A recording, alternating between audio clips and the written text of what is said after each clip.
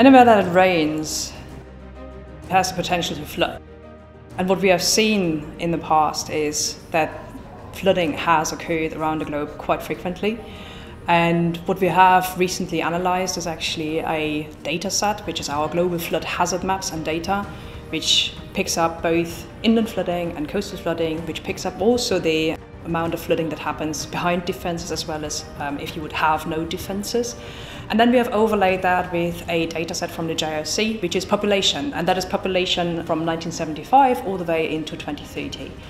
And what we find for present day risk is that today 2.44 billion people are at risk of flooding, and that is the number for inland flooding in a defended case and for the 100 years.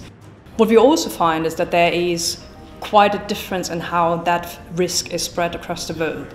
So if you take Southeast Asia, or South and Southeast Asia actually, that region is disproportionately affected by flooding, which doesn't quite come as a surprise, but just to give you the relativity. 60% of the world's population is living in that region. However, 75% of the people at risk of flooding are actually in that region. And that is even more extreme if you look at the coastal flood risk. 91% of the population is actually living in Southeast Asia. So that is a disproportionate um, spread of population across the world.